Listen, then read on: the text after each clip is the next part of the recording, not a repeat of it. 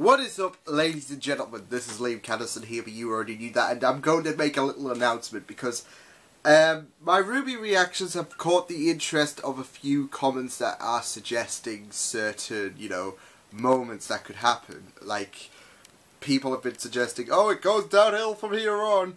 And whereas I knew there were going to be a few tears and tantrums because I've seen a certain, uh, this moderator's thumbnails at times, um, I don't want people to su suggest that, you know, from here on onwards, it's going to go downhill. So, I'm applying Torchwood Boy to be a moderator for my channel. So, these comments can get filtered out. Because I want to interact with the community, but I don't want to be coming across uh, comments like this. So, I mean, it's just a shame that I have to do... I mean, not to say that uh, Torchwood Boy is a bad person, but giving him a bit of power.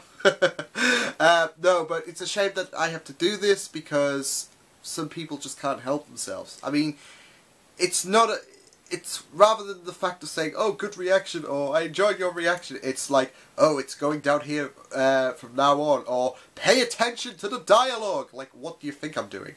Um, no, but uh, I'm not trying to call out people. I do enjoy the, you know, uh, you know, people watching my videos and that. It's great, but if you could just tone down on the suggestive comments, that would be nice. That would be nice. So yeah, that's why I'm applying Torchwood Boy because I want to interact with people, but I don't think everyone's going to get the message. I, I think people are going to ignore this video, like, and uh, the people who watch my RWBY reactions are going to be like, okay, do this even though I don't watch the video. So yeah, that's just a suggestion, people. Uh, well, it's not a suggestion, it's confirmation that Torchwood Boy is going to be moderate, uh, moderating. So if I, so if there's any kind of those dodgy comments, then I'm sure Alex is going to take care of them. If there's any kind of dodgy comments going on, this is going to apply to overall all over my channel as well. But um, he knows what he's doing. I hope. Like I said, I'm, I'm sure it was a good idea to give Alex that power, but uh,